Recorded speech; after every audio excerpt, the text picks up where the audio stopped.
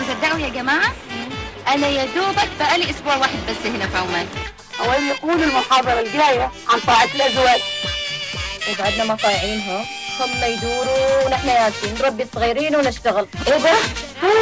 لا لا لا يا سميرة حنانش حنانش مرة خوفتيني مو وياك لا يا حبيبتي أنا شايفة حاجة مش هقدر أقولها لك. لو نيتك صافية كانت تمشي تصحك بدري عنك أنت لا نمشي.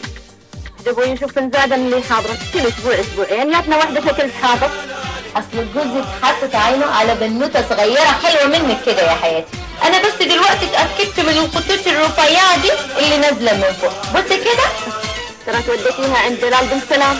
ما شلتيها عند شيخة بنت سويد ولا وديتيها عند عواش اللي لاقي المحاضرة الشهر الماضي؟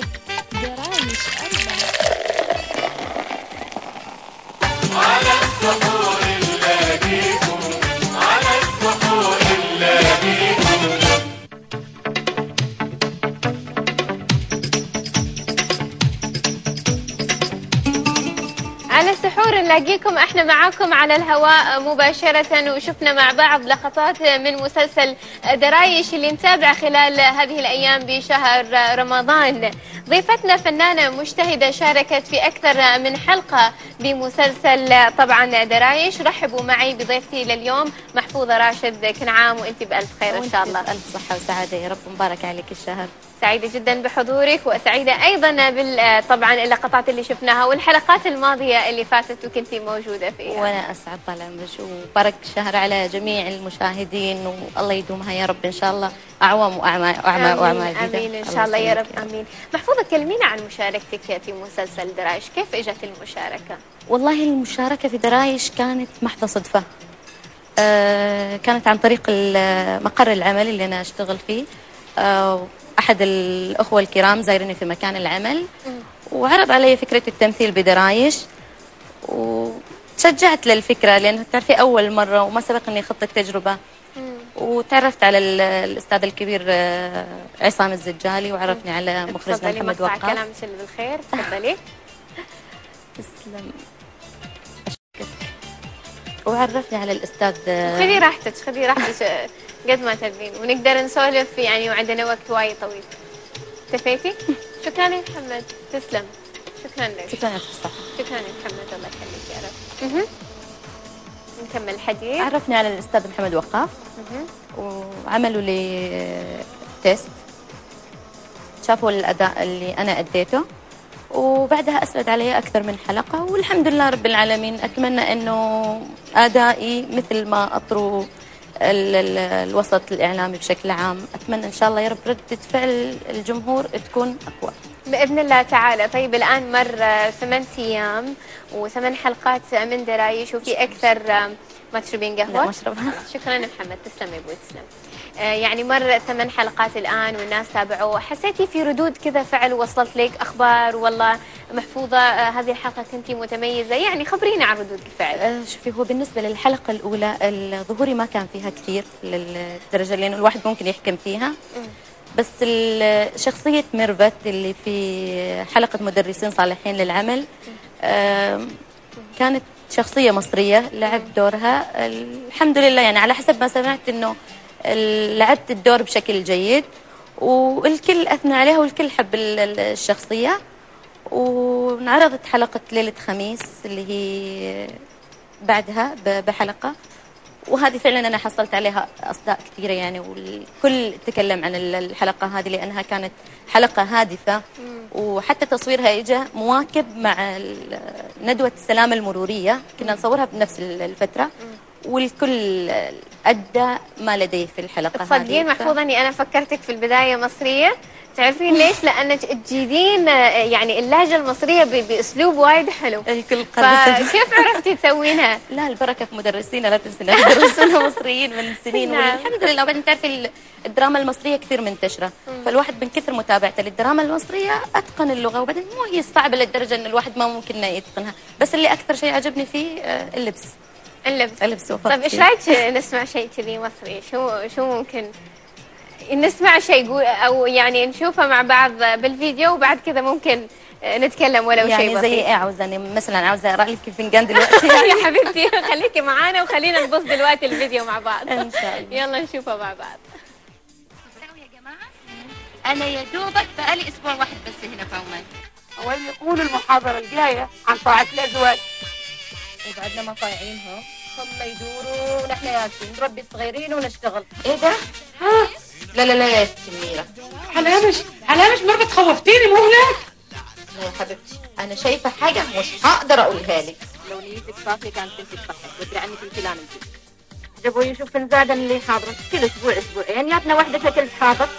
أصل جوزك حاطط عينه على بنوتة صغيرة حلوة منك كده يا حياتي. أنا بس دلوقتي اتأكدت من الخطوط الرفيعة دي اللي نازلة من فوق. بص كده.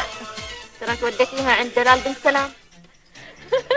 والنبي أنا عايزة تقري لي الفنجان دلوقتي. انت لو لاحظتي إن الحلقة الحلقة اللي كانت قبل أنا كنت اتكلم باللهجة ال- ال- البدوية أنا من المنطقة الشرقية آه، أمي من جعلان بني أبو حسن فكنت آه، اللهجة البدوية. الحلقة اللي بعدها مباشرة كانت ال- الدور المصرية. يعني فالكل تفاجأ بالتغير اللي صار. يعني هل ممكن واحدة بدوية وتتقن ال- هذه اللهجة ميزة المصرية حلوة لها تتوقعي؟ محفوظة إنه يكون الممثل يتقن أكثر من لهجة أكثر من يعني أكثر من دولة آه، المصري ال- ال- البدوي آه، يعني أكثر من لهجة. تتو- تتوقعيها هذه ميزة حلوة؟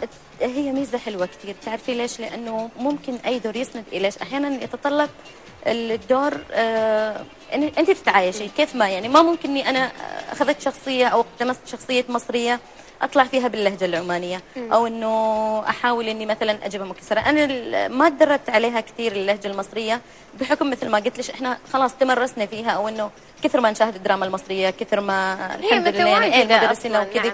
فالحمد لله أنا أحس بالعكس يعني ميزة في الفنان إنه يتقن أكثر من لهجة.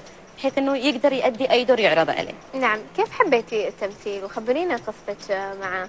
والله شوفي هي أنا ما إني ما كانت في نية أصلا في الحسبان مثل ما قلت ليش إنه أنا أدخل مجال التمثيل وهي كانت بس محضه صدفة يعني. والحمد لله شفت مجال كثير طيب وكثير رائع. يعني ابدا حتى في يعني قلتيني من أيام المدرسة ما جربتي تمثلي المدرسة أنا ما جربت أمثل. ولا حتى يعني ولا. حاولتي إنك توصلي مثلا آه، للتلفزيون العماني تحاولي إنك أنت تبرزي موهبتك وتخبريهم. أنا أتمنى إني أشارك. ابدا ولا ابدا. ولا ولا ولا مرة. بالعكس أنا كان عندي طموح إني أكون مذيعة. وهذا كان كان سنين زمان. وبعدين بحكم العمل وانشغلت في شغلي و... ف يعني هي بس كانت هواية. أنا في المدرسة كنت أقدم برامج الطابور الصباحي وش اسمه وما شابه. الحفلات إذا يكون في يعني كانت- موجودة. إيه بس يعني كمجال تمثيل لا. يعني كذا. مجال تمثيل ما كانت أصلا الفكرة موجودة عندي من الاساس حلو. نعم محفوظة خبرينا مين من الممثلين والممثلات إن كانوا محليين أو بالخارج من دول مجلس التعاون أو حتى الوطن العربي يعجبك وتحسين أنه هو قريب منك وتحسين أنه فعلا ممكن تستفيدين منه من خلال متابعتك لأعماله الدرامية؟ آه، لل- لل- للفنانين العمانيين أنا كثير أتأثر بالنجمة الكبيرة. آه، تحية إلها آه، الفنانة شمعة محمد. وفعلا يعني هالإنسانة إلها فضل كبير علي كانت متابعة جيدة إلي حتى أثناء التصوير. آه، كانت تحضر أو تتصل فيني آه، ترشدني. آه، يعني كثير خذيت من خبرتها حلو. آه، وأنا أوجه لها تحية كبيرة من خلال برنامجكم. وإحنا آه، أيضا وجه لها أجمل تحية. بالنسبة للخليج يعني كثير أحب الفنانة حياة الفهد. أحس إنها عفوية في أدائها لأي دور يعني تتعايش مع الشخصية بسرعة كبيرة. وأتمنى أتمنى إنه في يوم من الأيام يجمعني عمل فيها و- وإن شاء الله يا رب أوصل لنفس إن شاء الله ليش لا. الطموح دائما يعني ممكن يطمح لهالمستويات وأكثر وأكثر إن شاء الله ونتمنى أنك توصلين. راح تواصلين؟ ولا مثل يعني في مجموعة من الأسماء بدون ما أذكر أسمائهم يطلعون فترة ويختفون وما نعرف شوف أخبارهم هالسؤال آه، أنا انسألت إياه أكثر من والكل- نبي نطمن إحنا نبي نطمن على هالوجوه اللي يعني يتمنى الفريق الرائع اللي كان معي في درايش الكل يشجعني. مسألة الاستمرارية في ال- ال- ال- العمل الفني كممثلة أنا أنا تركتني للجمهور، الجمهور هو اللي يحكم، إذا الجمهور شايف إنه أنا أدائي جيد وممكن إني أنا أكمل مشواري فليش لا؟ يعني إذا انعرض علي نص وحسيت إني أنا أجد نفسي في الشخصية هذه ما يمنع إني أعيد الكرة. إن شاء الله هذا اللي إحنا نتمنى لك يا رب إن شاء الله. محفوظة في أدوار معينة تحسي إنك تحبي تمثلينها في أحد النصوص في أحد المواضيع في كذا دور تحسي أنا راح ابدع في هذا الدور. أنا أحب الأدوار المؤثرة. مثلا أعطينا بعض ال- الأمثلة. شوفي مثلا الدور اللي في ليلة خميس حسيت إنه في رسالة هادفة لازم توصل. آه، يعني حسيت إنه في في شيء لازم أنا أعمله. ال- الشخصية كانت كثير رائعة. انها هي كانت أم لشابين في مقتبل العمر يصير عليهم حادث يتوفوا. ال- الحلقة هذه أنت ما تتصور مدى ال- الصدى اللي أنا حصلته. أنا لدرجة يعني تلقيت حتى اتصالات من خارج السلطنة إنه الحلقة كانت كثير مؤثرة. يعني أنا حتى والدتي الله يذكرها بالخير. إن شاء الله رب كانت تتابع لك. الحلقة قالت أنا تابعت الحلقة ونسيت إنك أنت بنتي ولدرجة إنها بكت. فكثير ناس اتصلوا فيني إن الحلقة كانت كثير مؤثرة مؤثرة يعني. فأتمنى يعني إني أي حلقة يعني أشارك فيها أو أي دور أشارك فيه يكون دور مؤثر. ما ما راح أقول ليش إني أنا أفضل شخصية عن شخصية بس شخصية تكون هادفة وعندها رسالة لازم توصلها. هذا اللي نتمناه شو أخبارك مع الصيام شو أخبارك خلال هذه الحمد ومع لله رب العالمين؟ رمضان كريم. الأكل لا الحمد لله. أنا من النوع اللي وايد أحب أطبخ. حلو. أنا موظفة يعني ممكن آه، يعني ممكن تتحدين شيفنا؟ لا؟ عاد لا ما رأ- ما أوصل لمستوى تمام. بس كثير أحب أطبخ بعد ما أرجع من دوام تصور أنا أرجع من الدوام الساعة 2 فأحب إني أدخل مطبخ ممتاز. احب إني أخترع أكلات ومن ضمنها توني من يومين مخترعت لهم بيتزا وبس احترقت للأسف الشديد لا لا فباخذ لا الوصفة الصحيحه من الشيف الصحيحة من شيف عيسى وإن شاء الله خلال هذه الفترة كلنا نطلع طباخين مهرة من إيده. إن شاء الله أشكر رب. وجودك معي بالاستوديو أتمنى لك كل التوفيق إن شاء الله في مسيرتك الإعلامية ودائما من أعلى إلى أعلى إن شاء الله. شاء راشد الله يا شكرا رب. جزيلا. وأنا أشكركم على هالاستضافة الرائعة وشكر كبير كبير للأستاذ المبدع الكبير محمد وقاف. الله يعطيه ألف صحة وعافية لأن هاي ال- الإنسان فعلا تعب معانا من تأهيل ومن تدريب وكان باع طويل يعني. فألف ألف شكر له وأتمنى يا رب إن شاء الله في الأيام القادمة يجمعني في عمل إن شاء الله. أكيد تحياتنا للأستاذ محمد وقاف عبر برنامجنا. شكرا طبعا لضيفتنا محفوظة راشد على حضورها معنا بالأستوديو. يعطيك ألف عافية. شكرا. شكرا كل عام وأنت بخير.